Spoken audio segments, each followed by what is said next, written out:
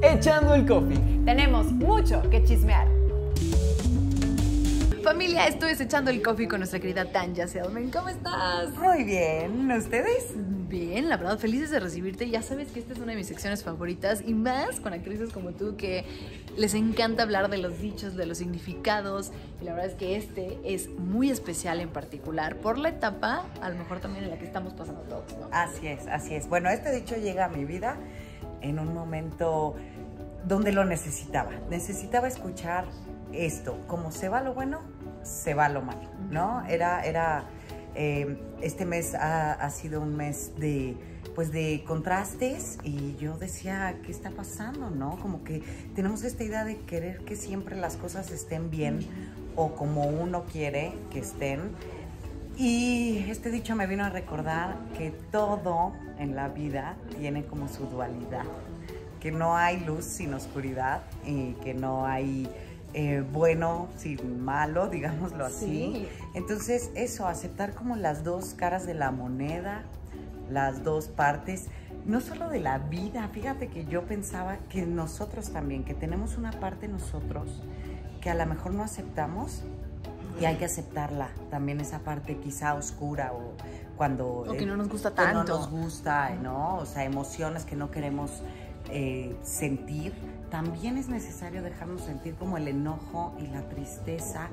Y por Y eso está este bien. está bien, claro, este dicho me llega para recordarme eso, que todo es un ciclo, que se cumplen ciclos, que, que todo, que el todo tiene estas dos partes, ¿no? Claro, y que a veces damos por hecho, creo que a todos nos pasa, que las cosas van a ser así, que las cosas van a seguir así. Y no hay que perder de vista que todo cambia y que estamos hechos para adaptarnos a esos cambios, tanto a los buenos como a los malos. Y en este año, y es terrible que estamos viviendo, han habido muchos cambios, tantos que a lo mejor ni siquiera nos estamos dando cuenta realmente de cuántos cambios están habiendo, pero justo es la capacidad de adaptarnos a eso bueno, pero también a lo malo, desafortunadamente. Claro, o sea, creo que eso, como dices, ¿no? To- todo cambia, es lo único constante, el Ujú, cambio. el cambio. Entonces, abracemos el caos, abracemos la calma, pero también la tormenta, porque justo es lo que nos va a hacer disfrutar el momento y estar en, en el presente. Yo confieso que este último mes mm, se me movió el piso y este dicho vino a recordarme esto. Abracemos el caos, abracemos la tormenta, porque después va a venir la calma. Y si después viene otra tormenta, pues abracémosla también, ¿no? Nada es constante. Hay, hay una frase que me encanta que es, esto también pasará. Y lo malo y lo bueno. bueno. Las dos cosas pasarán, entonces disfrutemos el momento porque todo va a pasar. Ay, Tanya, te, te juro y te repito y te vuelvo a repetir.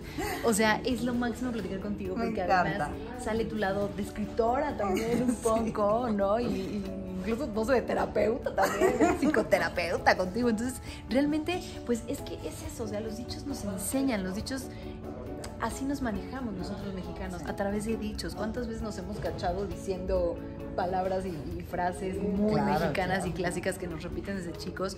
Pero este dicho, como decías, es bastante especial. Entonces los invitamos familia a que obviamente vean el capítulo, pero además de verlo, ad- adopten un poco como lo que nos ofrece, lo que nos, que nos está diciendo el dicho en sí.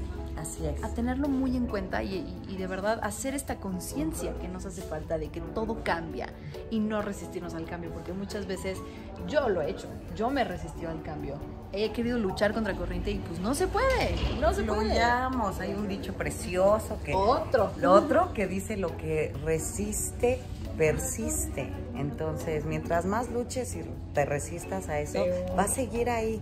Entonces, soltemos. Me encanta. Para que fluya. Qué buen coffee nos aventamos hoy. Tanya, te amo, eres lo máximo. Eres Tú lo máximo en también. la vida, de verdad. Gracias por todo. No se pierdan este capítulo, familia. Y esto fue Echando el Coffee con Tanya. Gracias. Gracias.